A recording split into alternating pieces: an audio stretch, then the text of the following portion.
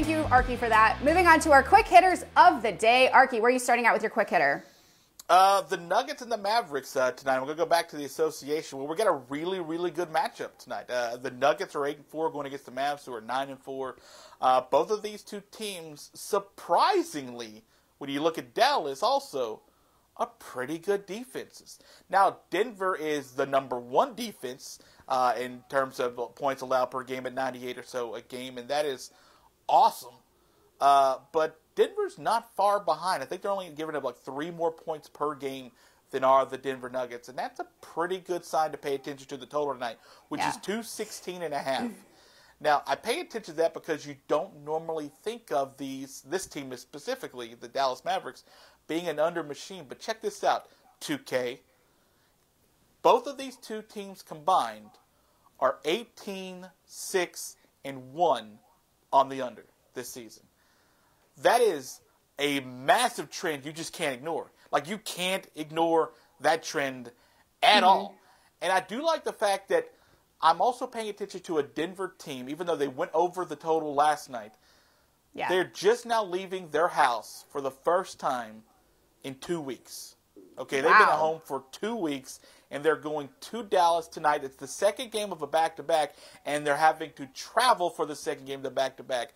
I like the defense to travel, not the offense necessarily to travel. And I like the under 216 and a half tonight for the Mavs and the Nugs. wow, okay. I like that. I'm heading staying in the NBA, just kidding. Uh, Heat, 8 and 5 at Thunder, 5 and 7. The Heat have dropped to 5th in the East, and the Thunder sit at 10 in the West. Uh, Miami is the 9.5 point favorite with a total of 208. This will be the final game of Miami's five game road trip. So I'm going to take uh, Thunder here plus nine and a half. How's that for a quick hitter? Just kidding. Uh, okay, will, they, okay, good. well, kind of, actually, kind of. Heat will be without Oladipo and Markieff Morris, while Bam Butler are both day to day. Thunder will be uh, minus Mike Muscala. But, you know, the Thunder were on a four game winning streak until Brooklyn spanked them yesterday. So the wins have been close for the Thunder, but they are nonetheless wins. Uh, meanwhile, the Heat went into this road trip seven and two, Arky, and they are now eight and five. So you do the math there. It's not been a great road trip for the Heat. I'm still going to keep this short and sweet, and I'm going to take the Thunder plus nine and a half. And I hope that road trip has gotten to the Heat, and maybe just maybe the Thunder will play them close. This more or less hinges on whether or not my pal Jimmy Butler plays. So this one will probably be a game time decision. I'm probably Going to regret this, definitely going to regret this, but crazier things have happened. So I like the Thunder nine and a half. Let's get weird. Mm, wow. Wow. Okay. Mm. okay. Okay. I'm gonna say God bless you, and I and I, Thank and you. I hope, We're gonna I hope it, it goes. Ni- I hope it goes nicely for you. Hey, as uh, long as I lose within, you know, that margin. That, that's true. Or if they surprise that, us and win, that'd be great too. Yeah, that's true. Uh, my other quick hitter, I'm going to go uh, up or to the Pac uh, Nor, which is short for Pacific Northwest, oh, where Gonzaga, the number one team in the land when it comes to college hoops, is taking on Alcorn State. And that spread is 38 and a half points in favor Woo. of Gonzaga. Yeah, that that's a lot. And you would think, why, why, why, Arky, bring up a nearly 40 point spread in a game tonight for a quick hitter unless you're planning something devilish. And oh, maybe I am. One thing I did want to bring up about this game, real quick, is that I just think it's interesting to pay attention to what some people and what teams have to do. Alcorn State has been up in the Pacific Northwest for a week now, over a week mm-hmm. now, because they this is their fourth game that they're having to play in the Pacific Northwest. Well, not having because they scheduled it.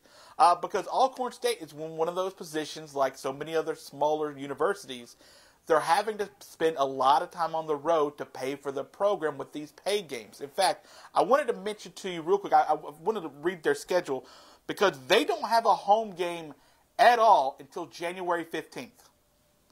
Whoa. I'm going to repeat that because it seems wild. That is Alcorn wild. State does not have a single home game until January the 15th. It's November 15th, fam. Okay. Seems a little it's unfair. No- yeah. So uh, they started with Washington State, Seattle, Portland, Gonzaga. Then they have Southern Illinois after Thanksgiving, Milwaukee, Tulane, Houston, Wichita State, Tulsa, Baylor, Oklahoma, Minnesota, and then they have a few uh, conference games at home, or excuse me, on the road before uh, they actually get home against Jackson State, Alabama A&M, so on and so forth. Like no home games. It's bizarre. But they played really, really well on the road. In fact, they've covered in, in, in three of those, and all three of those games, if I'm not mistaken. Washington State, I think, may have been a, backdoor cover at the end. Alcorn State's pretty, pretty well, and Gonzaga's coming off a 30, uh, excuse me, a big win over Texas uh, uh, this last weekend, where they covered the spread on that one, but they didn't cover their uh, their uh, their uh, other out of conference game to start the season. so here we go. Give me Alcorn State and my respect to the Braves plus 38 and a half tonight. Whoa. To, yeah, that's right. To the Gonzaga. Uh, what are they, Bulldogs still? Yeah, they're still the Bulldogs. Best of luck with that one, friend. Ah, thank you. Listen, it's 40 points. I don't know if you've been paying attention to college basketball early on this season, but there have been a lot of do- a lot of dogs covering uh, big spreads against good teams uh, early on. So this one is the one I like to continue that trend. All right. Well, I'm also going to stay in the Pacific Northwest. Raptors at Trailblazers. Uh, Toronto, the one and a half dogs right now with a total of two, 14 and a half. Both teams are coming off losses. The Trailblazers got smoked by Denver, 124 to 95.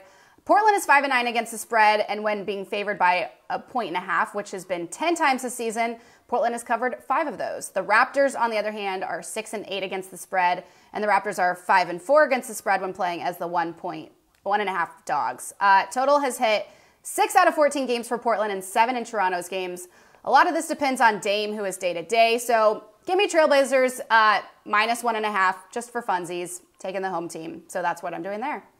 Yeah, Trailblazers are interesting. That's a lot of games to have such a short spread on. Like a lot of games early on. Yeah. Sure. Yeah, so it's very very interesting. Good note by you. Good good nugget. Thank you.